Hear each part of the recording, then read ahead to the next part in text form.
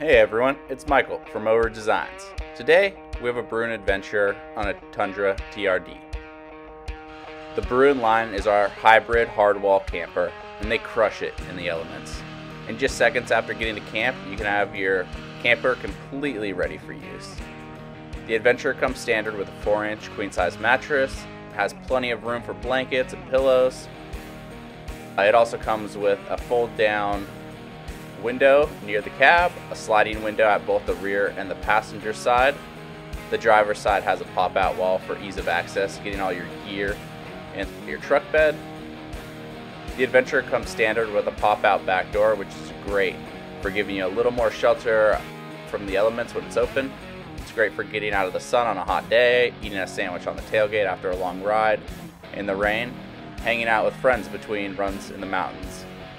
This customer opted for a MaxxAir fan, which is great for both airflow as well as white noise. Just open up the windows, turn on the fan, and enjoy a great breeze. And just like that, the camper is closed and ready to go. Thanks y'all, see you in the next video.